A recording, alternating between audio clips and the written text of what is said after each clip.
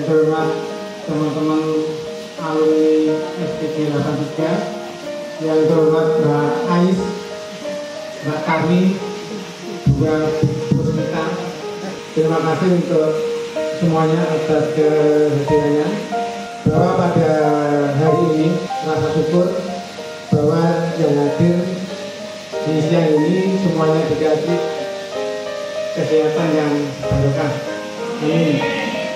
Saya juga bersyukur bahwa anak-anak tim Barep Mei kemarin sudah bisa menyelesaikan studinya di UGM.